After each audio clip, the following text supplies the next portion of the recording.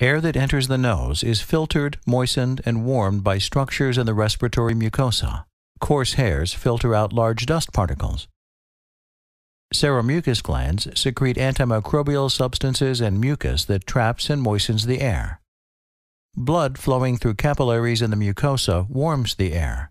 The filtered, moistened, and warmed air then continues toward the trachea.